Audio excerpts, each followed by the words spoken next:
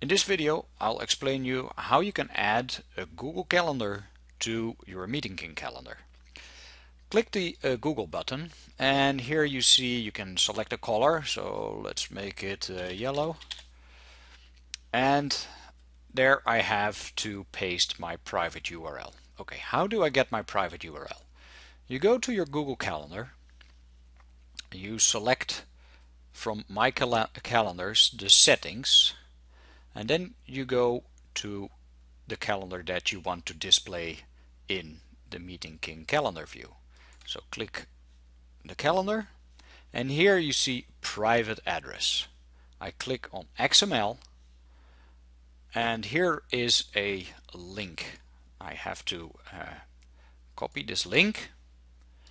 I go here, I copy the link in there and I say add Google Calendar. And now you see these events come from Google Calendar and show right in your MeetingKing calendar. Now I can click on one of these and I can convert it to meeting. So and now I have the meeting here. I can uh, just as usual I can add people to it. I can add other information and go to the meeting and create my agenda. Okay, I hope this is helpful.